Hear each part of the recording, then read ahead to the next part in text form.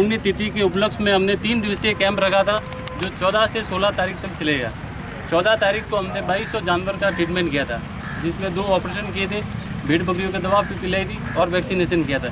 फिर कल हमारे पास में ग्यारह से तीस जानवर आए, आज टोटल हुए तैंतालीस सौ के आसपास हमने पशुओं में इलाज किया है। तो इसमें बीरवाड़ा सानवाड़ा उदरा बिरोली, फिर सिवेरा, जाडोली, आरासना आसपास के गाँवों के पशुओं ने यहाँ है है। ये है लोटाना से आएगी। नादिया से आगे 15 किलोमीटर दूर से आया है। तो ऐसे कई मवेशी आए जिनका उपचार निःशुल्क किया गया और लगभग ये चौथा कैंप यहाँ इसी मैदान में आयोजित हो रहा है। हर साल ये कैंप हो रहा है और ये जितने भी कैंप की दवाइयाँ सब निःशुल्क है। किसी भी पशुपालकों से हमने एक रुपया भी नहीं लिया और सबका इलाज हर एक तरह का कोई भी ऑपरेशन हो, टीकाकरण हो, डीवर्मिंग हो, पेट में कृमि हो, हर एक और दस डॉक्टरों की टीम लगी है और बारह का ही स्टाफ है।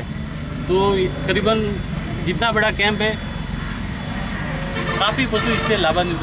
ये सब बहन जी की मेहरबानी है। बहन जी के आशीर्वाद से हमने और आगे ट्रीटमेंट क्या हुआ इसके बारे में मैं देव जी को थोड़ा अच्छा ये कैंप का खर्चा जो है doctor M C Shah Palanpur वाले उनका सुपुत्र शैलेश भाई तरफ़। से हाँ। अब जयपुर